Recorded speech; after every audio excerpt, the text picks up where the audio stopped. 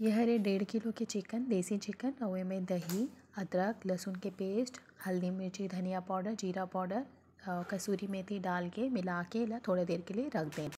देसी चिकन में दही, अदरक, लहसुन के पेस्ट, हल्दी पाउडर, धनिया पाउडर, जीरा पाउडर, मिर्ची पाउडर कसूरी मेथी और दही मिला के आपस में सब लोग मिला के थोड़ी देर पर रेस्ट कर में रख देना है।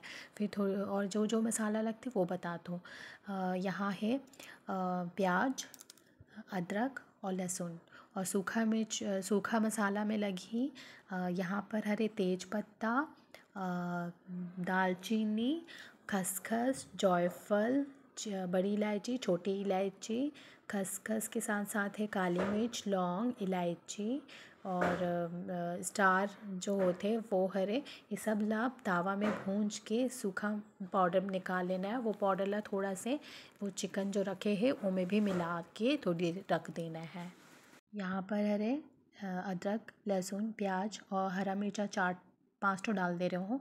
वो सब के पेस्ट हरे और जितना मैं मसाला आप मतलब बताओ वो ला भूंज के और ओला भूनने के बाद ग्राइंड करके ये सूखा पाउडर वाले हरे। है गरम तेल में आप मतलब सबसे पहले डालना है लौंग, इलायची बड़ी इलायची, छोटी इलायची, खसखस, जितना सूखा खड़ा मसाला होता है ना, उतना ला डाल देना है तेज पत्ता के साथ। फिर बारीक कटे हुए प्याज ला डाले हो, फिर अदरक, लहसुन और प्याज के पेस्ट ला डाले हो, फिर जितना मसाला लगता है, धनिया पाउडर, मिर्ची पाउडर, वो हल्दी पाउडर सब ला डाल के भूजना है। तेल छोड़ा तक के भूजते ही रहना है।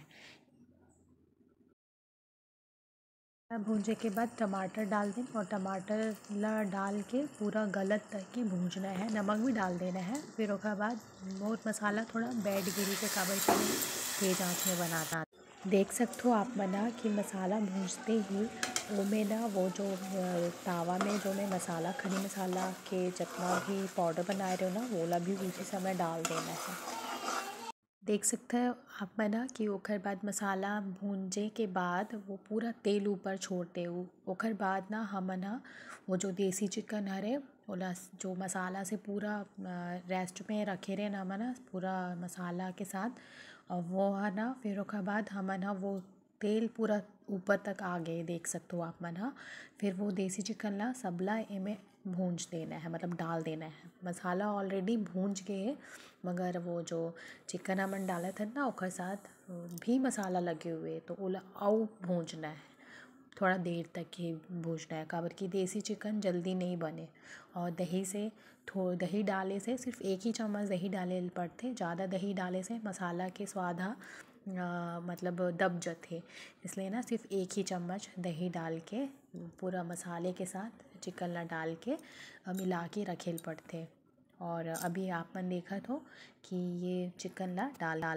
देख सकते हो अब चिकन हाँ पके के समय आ गए। बाकी वो अभी नहीं पके। देसी चिकन ला बहुत टाइम लगते एक डेढ़ घंटा कहीं नहीं जाए।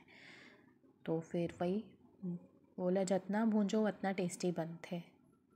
फाइनली बन गया हमारे देसी चिकन। जैसे कि हरा धनिया, गार्निशिंग बर ऊपर से डाल दो ना, वैसी में, है ना, मेथी, कसूरी मेथी डाले हो जगह से होटल जैसे स्वाद लगते हैं। और सब्ज़ी बना तक के मोर बेटी पूरा घर के हालत ख़राब करके रखे। और सब्ज़ी बहुत टेस्टी बने हैं, आप मन भी ट्राई करो।